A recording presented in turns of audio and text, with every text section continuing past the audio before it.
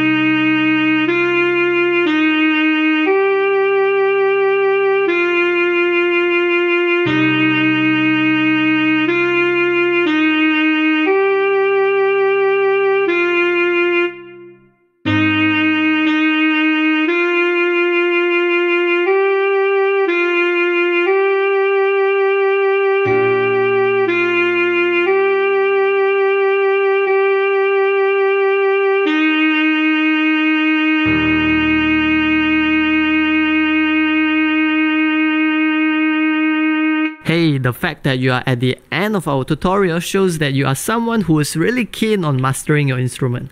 Well done on that. And if you find our videos to be helpful, please help us by leaving a like, comment, subscribe or share it with your friends. Have a wonderful day ahead.